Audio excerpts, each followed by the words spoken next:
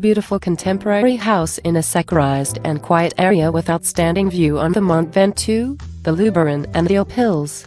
It is composed of four bedrooms, including a master suite, a living room with fireplace, a dining room, an office, a kitchen.